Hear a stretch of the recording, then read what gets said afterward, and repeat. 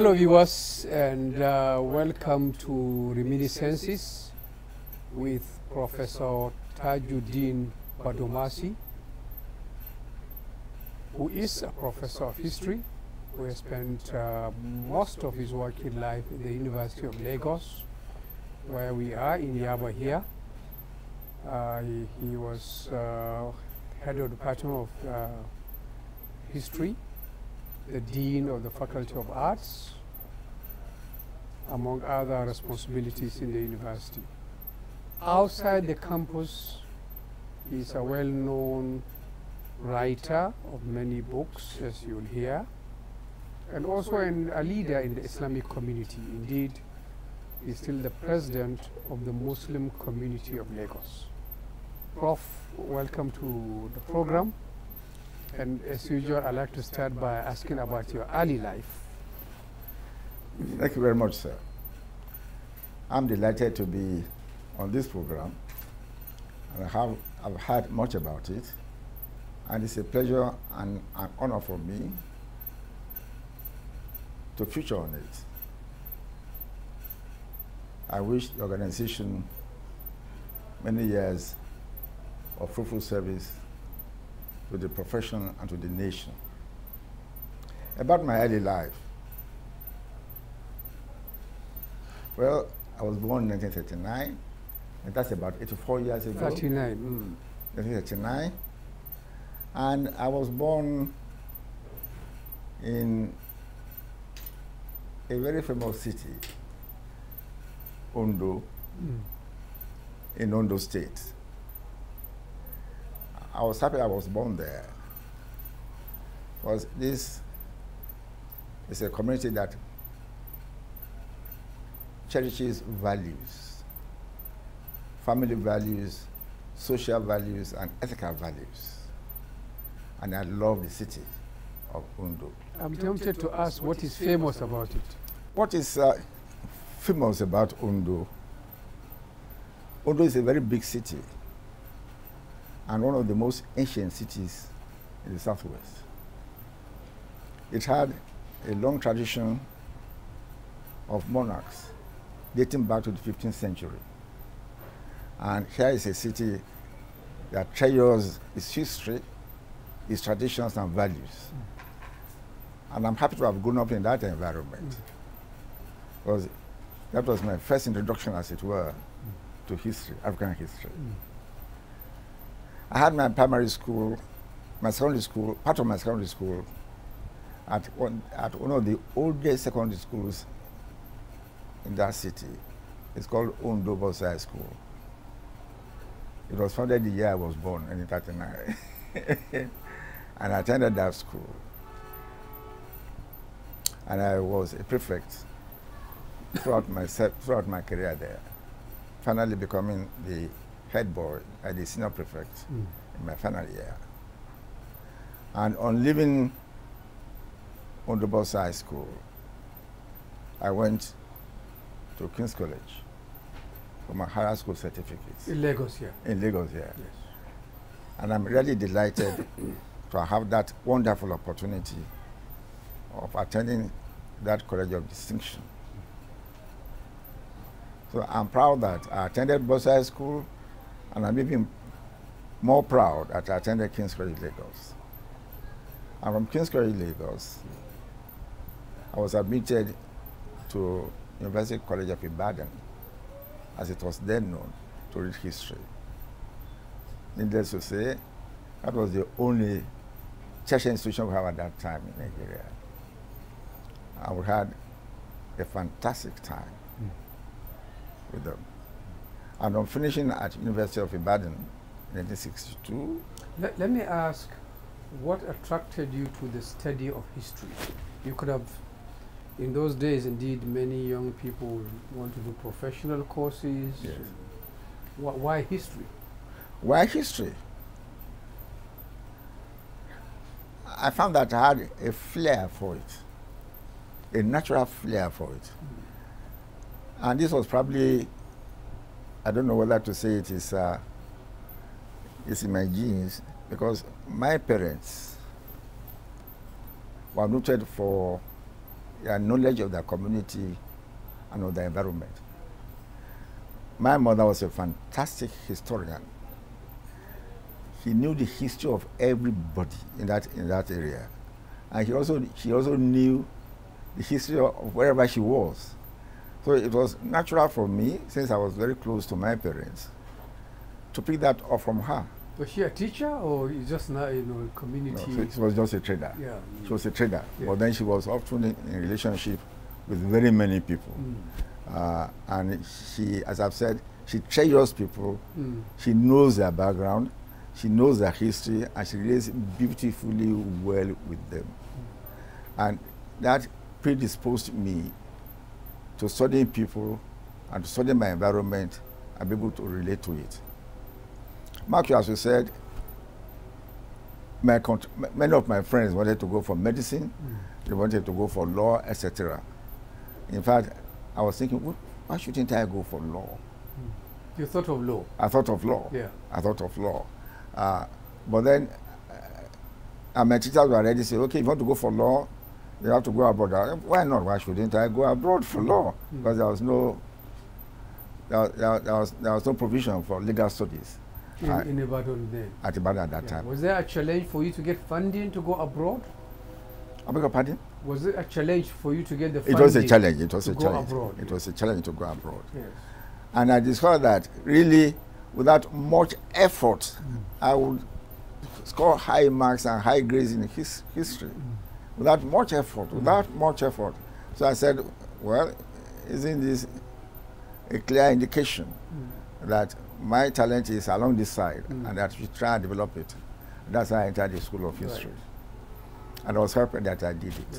When you finish your first degree, a lot of people in your generation who studied at the university will quickly get top jobs in the civil service. Yes.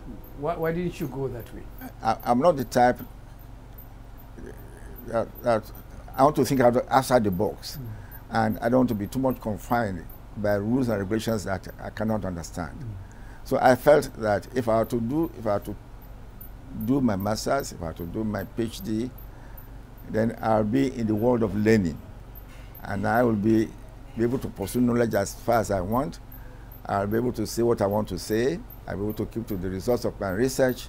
I'll be able to maintain my independence, and I will not be too much fettered by various regulations.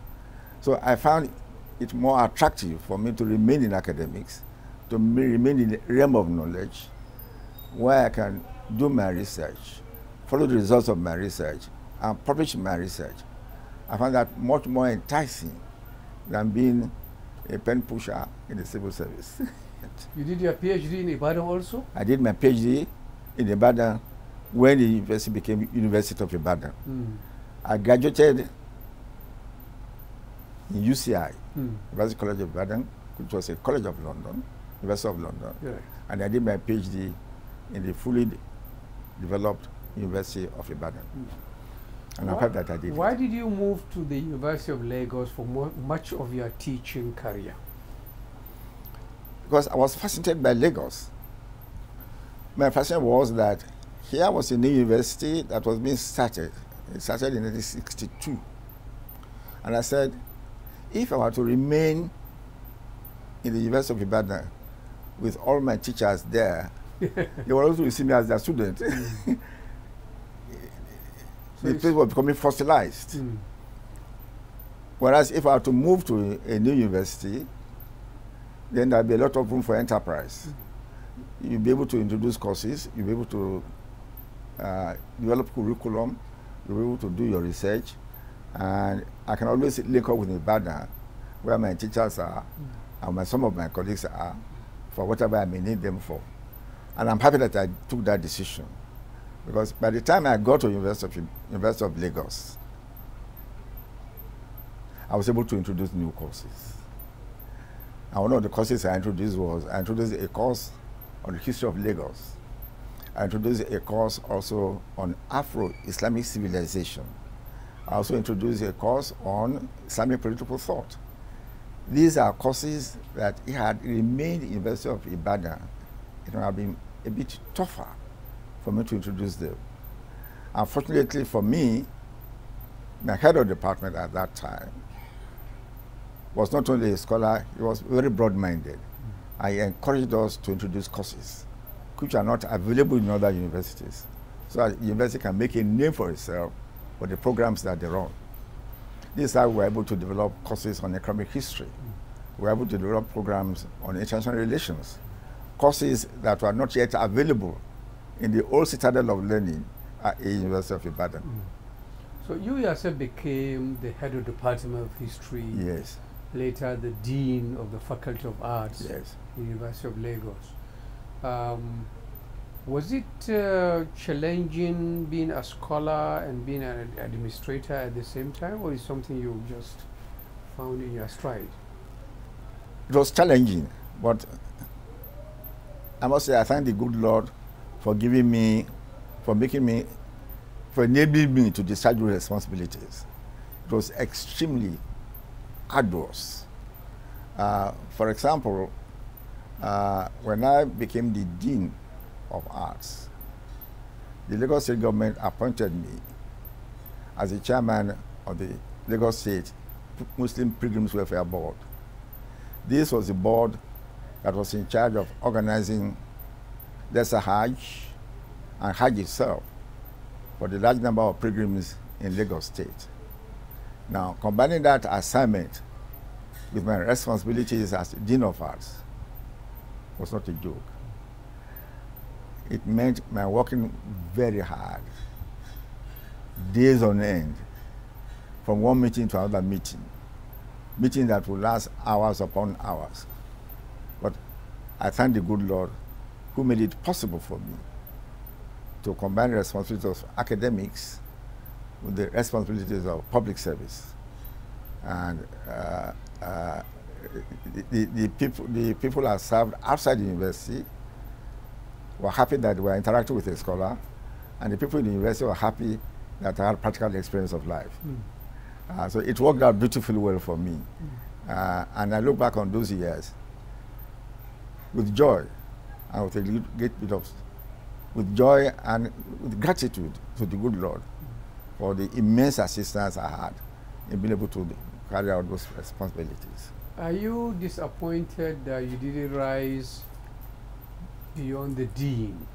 For the other DV, deputy vice chancellor, chan vice chancellor, as a brilliant scholar, uh, was, this something that you that was within your your expectation? Yes, uh, most scholars would want to become vice chancellors because that's a top of the situation. And people like us who are fortunate not only to be an academic but also to be somewhat relevant in the public sector. We thought we had something to offer. But it did not come my way. Mm. Uh, I, there was a time when I was offered the position of a deputy vice chancellorship uh, one of our universities. But I didn't want to go there as a deputy. Mm. If I were to leave the status of a dean of arts, I wanted to be a vice chancellor straight. Because I know that a deputy is a deputy. Mm. And his powers are very much limited. He will not be able to do what he wants to do. He has to defer to his boss, I, the vice chancellor. So I didn't take that off, take that off. off. Maybe I should have, because it would have made my becoming a VC a bit easier. Mm. Uh, but I didn't do that. Mm. Uh, so I did not become a vice chancellor, but then, then I had no regrets. So, so your career in the university, once you became the dean, was it at the point from that point you retired or you, you stayed on as a professor? Oh, I stayed on. I stayed on. Uh, uh you, you, can be a dean for one term or two terms maximally. Mm. And I didn't want to serve more than one term. Mm. But then the people said, I should go for a second term. And that was enough for me. And when I finished my term as Dean of Arts, I remain in the institution, I remain in the department, and continue to do my research work. I continue to teach, and I enjoyed it very much. One of the things you have done, which is uh, quite unusual for an academic, is that you have written books that are accessible to the public, mm. especially biographies yes. of prominent people. Yes. biographies are very interesting. Biographies are very interesting. You want to read about the famous people who had had tremendous impact on the society. You wanted to know how did they do it? What were the challenges? What are the opportunities? And what were the effects of the action? So it's very fascinating. Unfortunately, we have very few biographies of Nigerians. And I thought it's high time we studied our distinguished people so that people who are coming behind them could learn about them and see the type of impact they have made on their own society. So it was an attempt to fill a gap in knowledge, to advance knowledge, as it were. So in that sense, it was academic. But then it was also a matter of public service. That eh, this, this, these are eminent men and women. People talk about them. People relate to them. They mentor so many people. They've had tremendous influence on their society. I, I want to know more about them. I want to relate to them. And sometimes even they even approached me that I should come and write their biographies. Or friends approach me, why don't you come and write a biography of this guy? So both combined, uh, academic interest and public interest. Mm. And I found the characters very interesting, extremely interesting. Can you, can you give us a brief snippet on Falawuyo? Yes. What, what makes him remarkable? Yes. And then Odutola, a lot yes. of people probably would not have heard his name. So yes. let's, can you give us? Uh, yes, uh, about Oduto, about uh. When I wrote his book, I called it Divine Stock Exchange. Now, why did I choose Divine Stock Exchange? Uh, all of us know what, the, what stock exchanges are.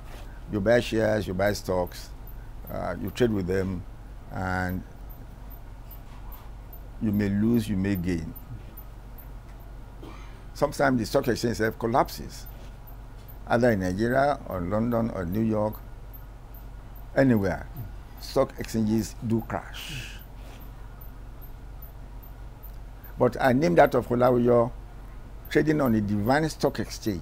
What is divine stock exchange? What inspired me was what I read in the Quran and what I learned from my sheikh. I, I can put it simply in Yoruba language. They say, Abolon Showo, pàdánù. I.e., if you trade with your Lord, you will not regret, you will not lose. Mm. Now, Falawuyo was virtually the chief launcher of Nigeria. He was invited to various ceremonies, various occasions where he is the chief launcher, and he would spend money generously. Mm. He built mosques everywhere, in many places, from Lagos, so I think Kaduna, Kaduna, mm. everywhere. Not to talk of a large number of people whom he helped. Mm. Where did he get the money? Business. Mm. He was a he was a successful businessman, mm. and he was spending. He was a great philanthropist. Mm. Here was a man who traded with his Lord. Mm. He did not expect any return from the people he was serving. Mm. And I said, here is a man who was engaging in divine stocks exchange that will never crash. And uh, I'm happy that uh, the man led a very good life. Was respected throughout his life. And he became the Baba Adinni of Lagos, mm. i.e., the, man, the, the, the main patron. Mm. And he had also a number of national honors, mm. uh, ON, etc. What of Odutola? Odutola was a very virtuous man, a man who was very upright, who had, who had high moral principles. Uh, I talked about Ondo being an ancient city. Having values and having tradition. Mm. Odutola was also from Ijebu an ancient city. And the man treasured the tradition and the values of Ijebu, of Ijebu people. Mm. He was a successful businessman. He never cheated. And no person, he did not cheat and he did not allow himself to be cheated. and he was in he was in business and he tackled everything in business like a self-made man who was able to build up his good his name and his own business empire. Hmm. So I have great, he's a man of great respect, a man of value, a very virtuous businessman. And he's a, he's a rare bird. Hmm. Many businessmen will cut corners. Odutola would never cut corners. Hmm. I did not cheat anybody. What, I- what, what, what was business? What business was? I remember him with tires. What, what business? That's was, right. Yes. He was in the tire business, which he ran for a number of years. He was also in textiles. He was an importer and an exporter. And to my surprise, when I worked on his biography, he also dealt with gold. Gold. Gold, yes. He went to Ilesha and he was dealing in gold over there for some time before he left the place when it became, became a little bit too dangerous for him. So that was his line of business. Mm. And he, he faced his business very squarely and very successfully. Mm. Uh, he was also a philanthropist because he helped quite a large number of people. He trained all his children. Mm. Uh, and you may want to know that one of his children became a professor. Mm. That was uh, Professor Clark, Professor Mrs. Clark. Uh, that was a famous. He was an he was an actress. He was also a professor of English, and he became professor of English in the University of Lagos. One of the books he has written is on the history of Islam in Yoruba land. And I wonder what what's what's uh, what's what, what are the nuggets from that history? We know there are a lot of Muslims in Yoruba land, but and there are of course all sorts of uh, stories about how the jihad brought Islam to Yoruba land. What what is the essence? How did Islam come here? And what is its ex- the extent of its spread in Yoruba land? Thank you, my dear brother. That's a very fascinating subject. How did Islam come to Yoruba land? In the course of my research for my PhD, I did work on the issue of Islam in Yoruba land. And one of the things I was surprised to find out was that Islam had been in Yoruba land before the jihad. This is surprising to me. Like many people, I did believe before then that it was the secular jihad that brought Islam into land, making Ilorin more or less like the base for the spread of Islam in Yoruba. But that's not so one of the things I discovered was that, in fact, Islam came from across the seas to, to Yoruba land, especially to Lagos and to Badagry. How? During the wars that took place in Yoruba land, some of them were captured and were sold into slavery to Brazil and other parts of the world since they, they were Muslim before they left Nigeria. And when they got to the foreign lands, they retained their religion. And when they were freed, eventually they were emancipated, they came back with their religion back to land. So Islam came, in other words, Islam had been Yoruba That proves that Islam had been Yoruba land before the jihad. And then Islam came again to Yoruba land from across the seas and their presence is still felt even now in Lagos and Badagry. That is one. Two, before the jihad itself, in many parts, even in the in, in, in, in Oyo Empire in particular, we had ample evidence that Islam was present there. They had imams, they had afars, they had congregations, and we're happy about to know this. In fact, in some writings, in some writings by the by, by our scholars, scholars from northern Nigeria in particular, they did refer to the presence of some scholars in Yoruba land. And they linked up with them. One of them was Alimi. Alimi Alimi in Ilori. in Ilorin. And he was not alone. In Ogbomoso, in other parts of Oyo Empire, there are also notable Muslim practitioners. They may be Afars, but they were there Before the jihad. before the jihad. They were there, undoubtedly so. And I was satisfied that I was able to get this information. Not to talk of the linguistic evidence that we have. In Yoruba land, for example, Islam is not called Islam. It's called Imande. Imande. And when you begin to trace this, you find that there was evidence that some people had got have been, who have been trading outside Yoruba land. They've been to Mali, they've been to Songhai, and they brought some knowledge of Islam to them with their wares.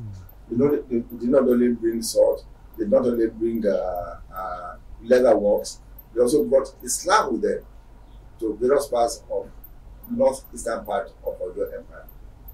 So it was called Imale Ai, not knowledge that, knowledge that is hard, but people from Mali. Okay. That's why it was called Imale Mm. at that time. So there's sort of evidence to show that Islam had been present in Yoruba land before the Sokoto Jihad. Indeed,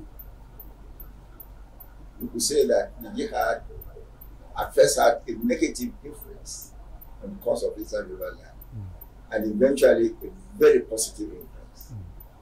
The negative influence was that the, the wars caused a lot of disruption. Disaster followed the wars. Towns were destroyed. People left their homes. People fled everywhere. And therefore, people said, Oh, what is all this? What's all this? What's all this? So they were not too happy with what some of the Muslim warriors Mm. did to them. Mm. But when things settled down, when things settled down and there was peace, then people began to see the beauty in Islam. And a place like Ilorin became what we can call the beacon that transmitted the light of Islam to Yoruba land. So how did how did then Lagos, for example, became a substantially Muslim community? Became a substantial Muslim community partly because of the returnees that I mentioned. We are called returnees. Mm. i.e. people who were Muslims before they became, they were exported. They were sold into slavery into the Western world. And when they came back, they brought their Islam with them. One good example here is Alhaji Augusto. Augusto. Augusto, Mm. Basil Augusto. Mm. He, he became a lawyer, Augusto sounds like a Brazilian name. Brazilian. Mm. It is a Brazilian, Mm. which have become part of Lagos family. Mm. he he Al- Alhaji Basil Augusto was a lawyer.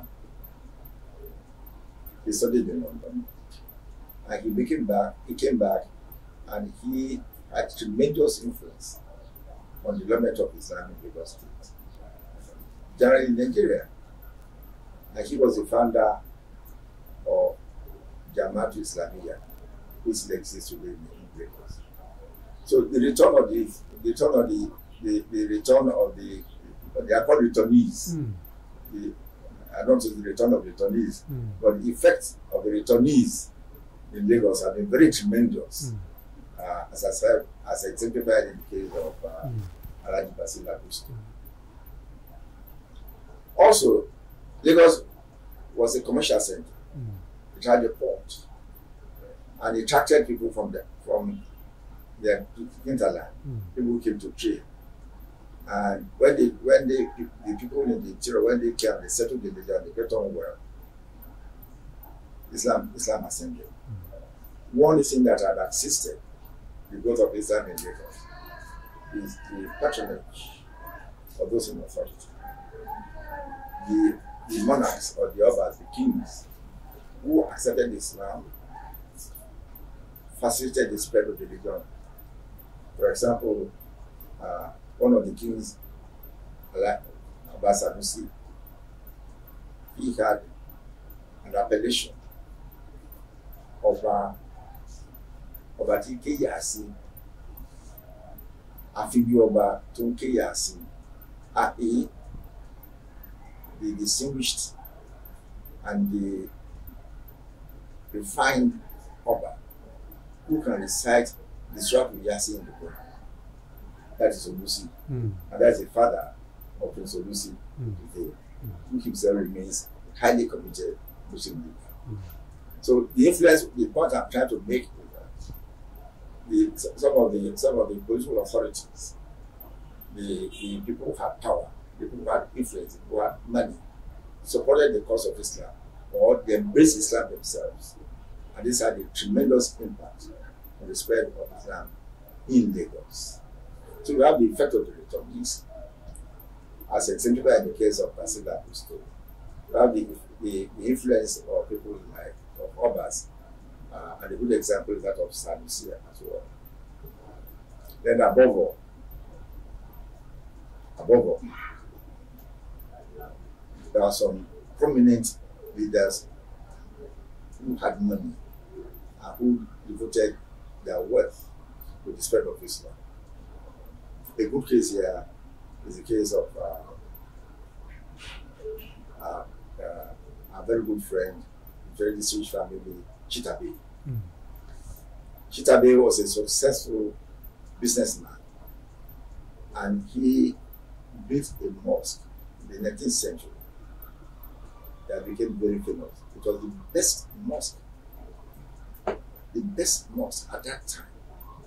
And it attracted attention, so much international attention, that the Sultan of Turkey sent a special representative to go and open that mosque. This was in 1996. 19, It, yeah, 1896. 1896. And I'm happy that I'm happy that the Abdullah Quilliam who came to represent him at that time conferred the title of Bey. The title of Bey. It's a Turkish title. Okay, yes. So when you hear Shitta Bey, Shitta Bey. it's, that's it's, it's, a, it's a Turkish. Uh, Yes. mm. No, his name was Shitta. Shitta, yes. But Bey was Bey the is the title. was, that was conferred on Mm. him. So they said Shitta Bey. Mm.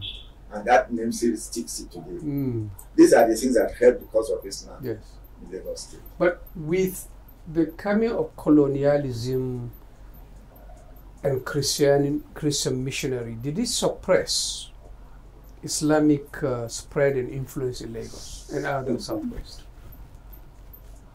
Yes and no. Yes, in the sense that the Christians, of course, wanted to spread their religion quite naturally. That's why they are here. They are missionaries.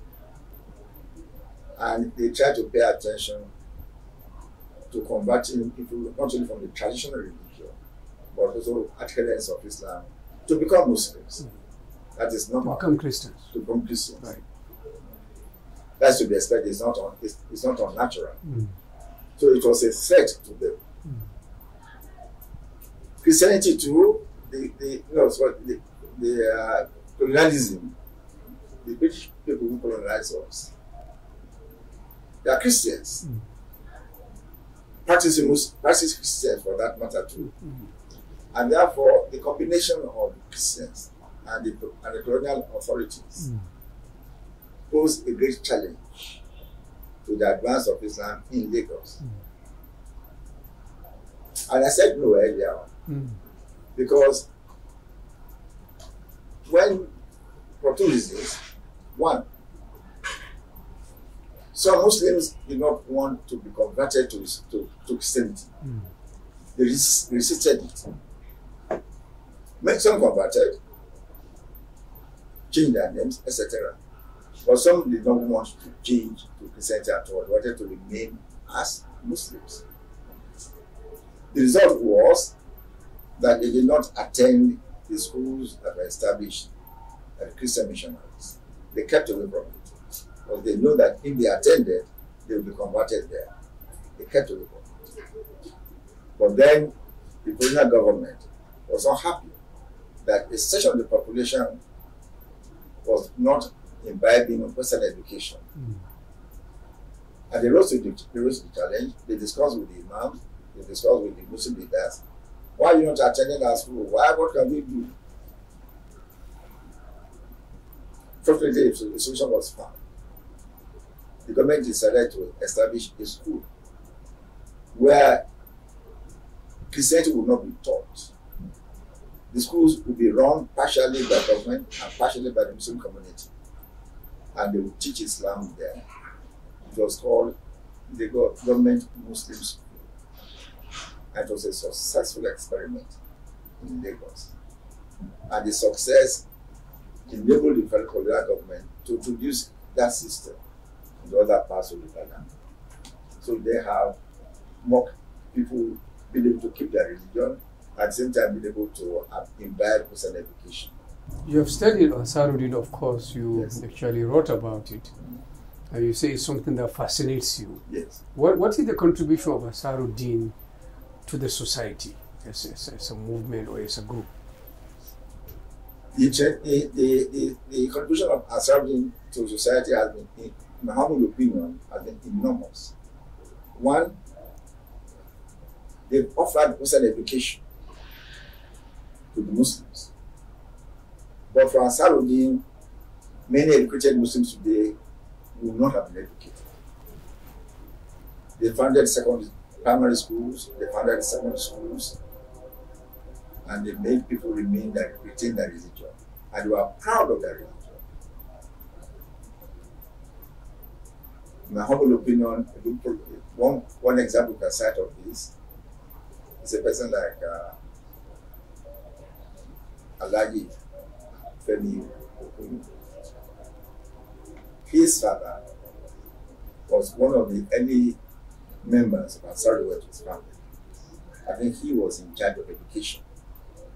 And he himself remained a Muslim, even though he remained a Muslim, even though he was educated. And he eventually became the president of Ansari Society of Nigeria. That's the type of thing we are talking about. That, but for Ansaruddin, but for Ansaruddin, they don't have received the they don't have received Western education, and they don't have been able to attain what they were able to achieve in the world.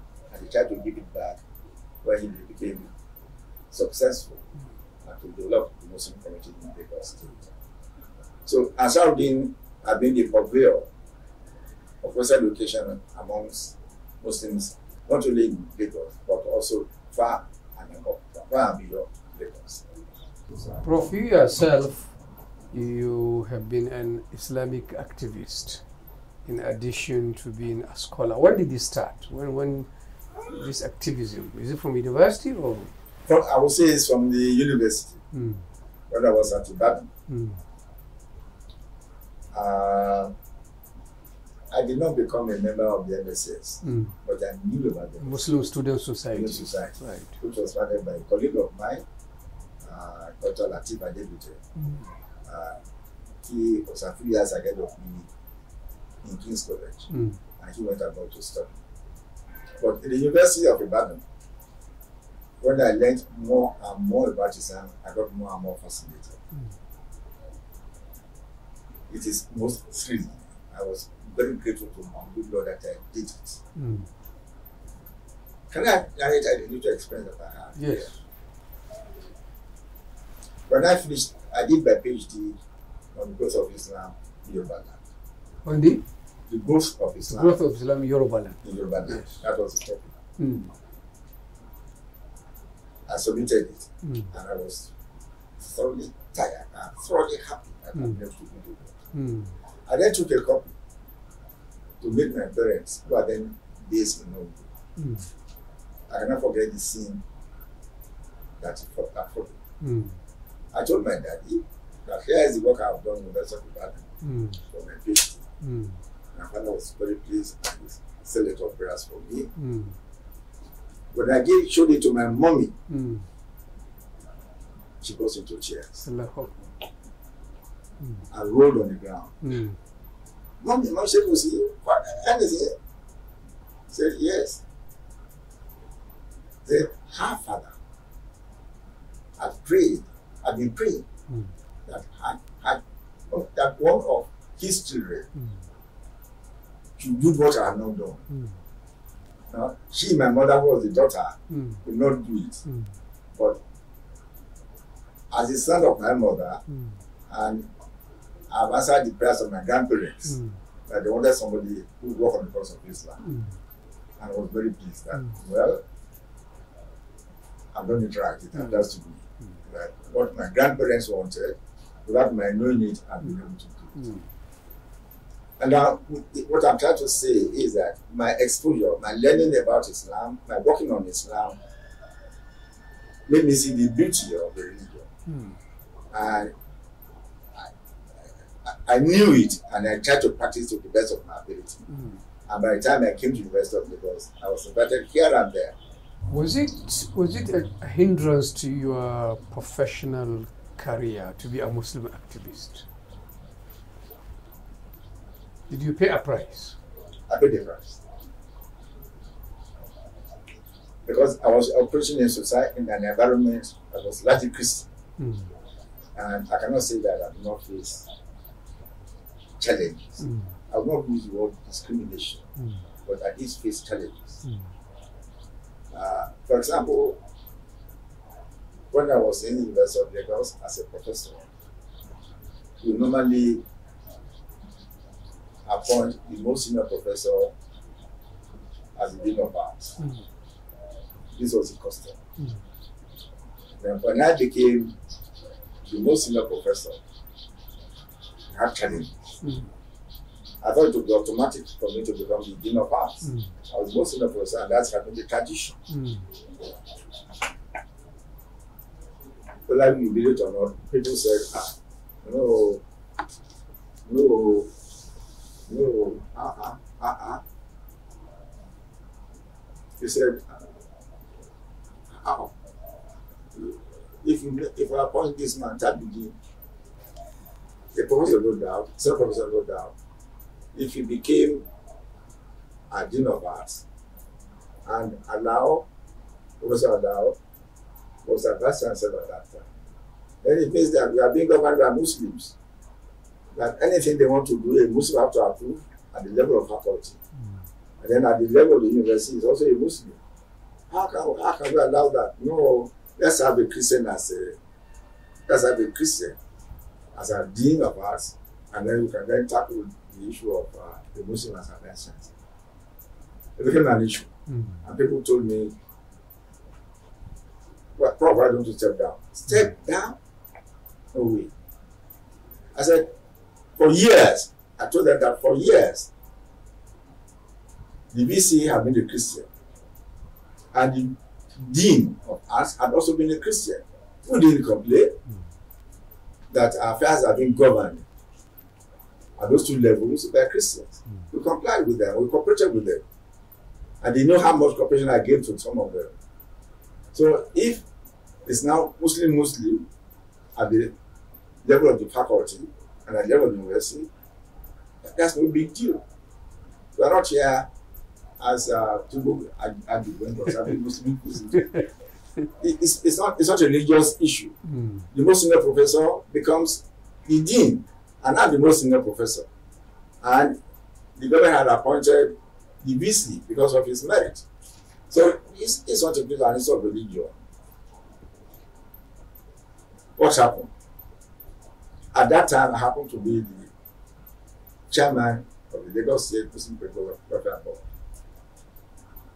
And it was time for me to go to lead the delegation, to lead the Muslims, the group of Muslims going on hajj to Makkah and Medina. And I went. Before I came back, the election took place. And I won by a supreme majority.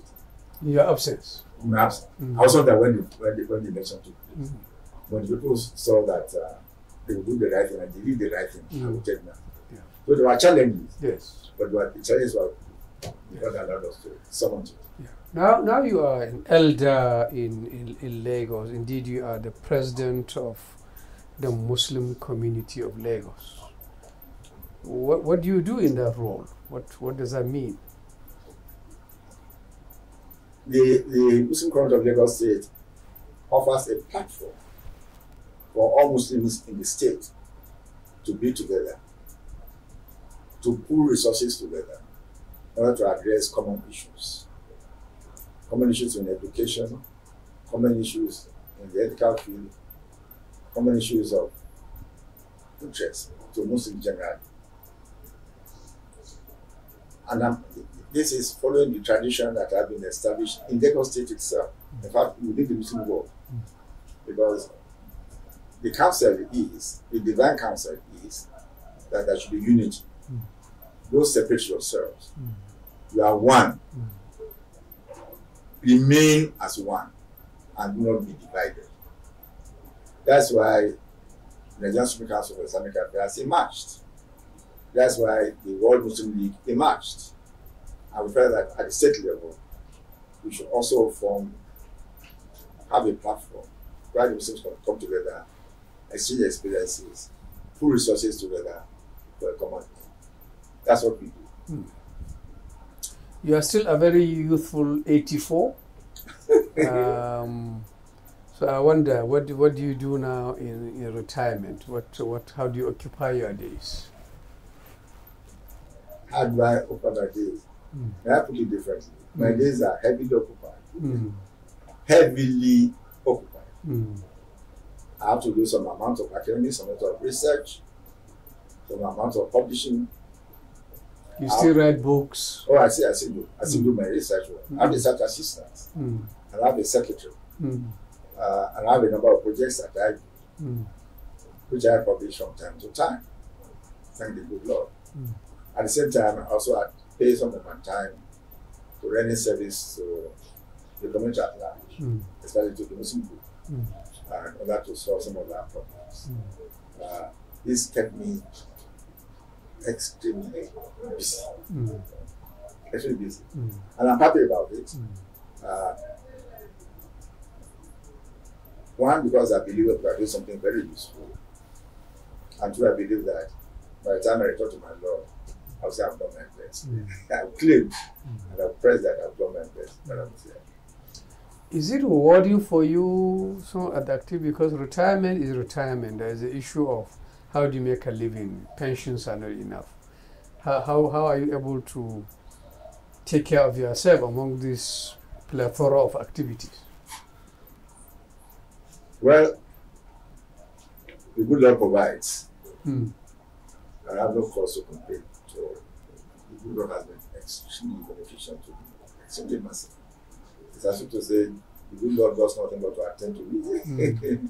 uh, and He has also surrounded me with people who are very careful and very loyal. Mm. Very careful, very loyal. And besides just one example. Um, it's a pity that we do not meet him here. My, what they call my guard, Mm. my security man at the gate, Mm. he's been with me now for about 20 years, Mm. rendering excellent service. Mm. Absolutely no complaint about it. He doesn't speak Yoruba. I don't speak Hausa. Mm. He knows he's, he, he, told me he's partially Fulani Mm. and I do not know the language, Mm. but he's an excellent person. Mm. I remember one year when he was when he wanted to go when he wanted to go home to maybe eat prayers and do some family work. He was preparing to go, but then that was the time my wife died then. Mm. He did not go. Mm. He stayed with us. Mm. It was as if his own mother had died. Mm. He felt that he cannot leave the family like that. Mm. Now, when you have that type of person surrounding you, Mm. it makes retirement beautiful. Mm. No person is stabbing you at the back. Mm. No person is pulling you to walk under your feet. Mm. Whether they see or they don't see you, they do their best. Mm. And of course, some members of the family rally around you to ensure that you are perfectly, you are perfectly Mm. And they will be really very wonderful. Mm. The support, the support from staff, the support from the society, wonderful. Mm. And I thank, them- I thank them. How is family life without your wife now? As family wife, family life without wife. Mm. Uh, as I said, people have been very supportive. Mm. I give one example just to, buttress my point. Mm. The very day Alhaja died, Mm. one of our friends approached me and said, Bro, how are you going to cope now? Mm. Now that Alhaja is gone. Mm. But she knew how close we are, Mm. how we did many things together. Mm. Say, how are you going to cope now? I didn't expect the question. I hadn't not even bothered to think of how I would survive. All I did was simply to put my raise my finger said, and I just was like, like this, and I did talk. Saying that the good Lord will do it. Mm. He said yes. The good Lord will support. Then she turned around. She saw one young man behind her. I thought, young man, can't you stay with Prof? That young man, she did not know, was one of my staff, a graduate of history. Mm. He had done his master's, and his current was currently at that time was his PhD. Mm. He was one of my staff. And that one replied, Yes, I will. From that day, for one for more than more than a year, that guy spent his entire time in this house with me, which was wonderful. Mm. Anything I wanted to do, she supported me. Mm. And this type of support I said, if you receive, you find it very encouraging. Mm. You'll be able to keep this life. Mm. Two,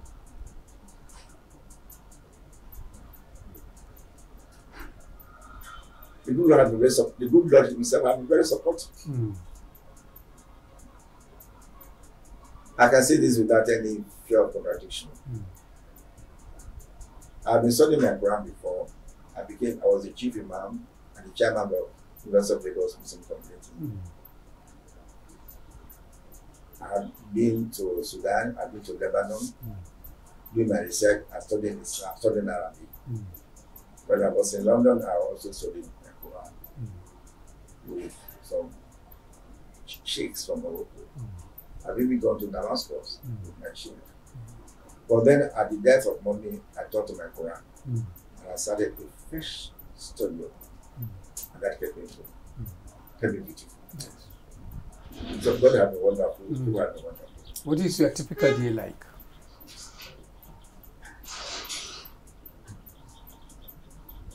My day, my day starts around 11 p.m. or 12 midnight. I wake up. So you, go to bed very early. I go to bed. Mm. I go to bed early. That's part of the previous day. Mm. But when I had some sleep, have some rest, I wake up early in the early hours of the morning. Mm. Early hours of the morning. I reach for my Quran, study it until it's about next because the Tahajjud prayers. Tahajjud is the, the prayers we say in the uh, two hours, Early hours. early hours before uh, before you see your first prayer. I do that until about five thirty. I had a short sleep again. Say my prayers between five thirty and six. Have a short rest before I start the work of the day. The day starts around eight or eight thirty. My staff will be there, secretary will be there, we tackle problems of the office. We had a series of meetings. That takes me to about four five thirty in the evening. Mm. After that, have my dinner, back to the No social life for you now? social life over the weekends. Mm. uh, especially people people say we want to mark our anniversary or we want to say special prayers, Mm. we want to do this, we want to do that. Come and conduct the prayers for us. Mm. I go there. Mm. Sometimes there celebrations, come and be the chairman, come and be the guest of honor, Mm. or come and do this for us. Mm. I'll go there. Mm. So I social life and they treat me very well. Ah, Prof, this is your city. I come here, I come here. Hey, I want to see you, want to talk to me. Mm. Very nice social life. Mm. Uh, but walk, walk, walk, walk, walk, walk, walk Mm. from Monday to Friday. Mm. I see that jogging is one of your hobbies. Yes, it is. Is it still something you, any exercises? I used to jog, but at the age of 80, it's no longer too easy to, do, to, to jog. And besides, with all these kidnappings, so mm. I work very carefully indeed. Mm. But what I do as at now is just walking. Mm. Uh, I walk. Uh, unfortunately for me, I've been walking before. I remember when I was in service, mm. I did not drive to I did not drive to school. I rarely walk from home to the classroom. The, inside the university. Inside the university. Yes. And from the classroom again, I walk back home. Mm.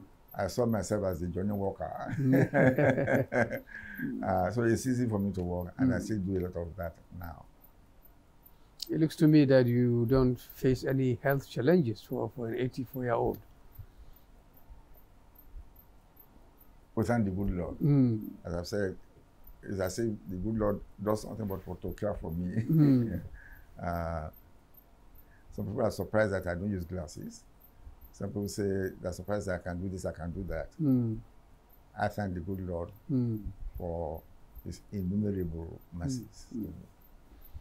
Thank you, Prof, for this very insightful look into your life. And we wish you well and uh, in the service of the community. And uh, viewers, I hope you enjoyed our conversation with Professor Tajudeen Badamosi, Professor of History and a leader of the Muslim community in Lagos. Until we meet again in another episode, thank you and goodbye.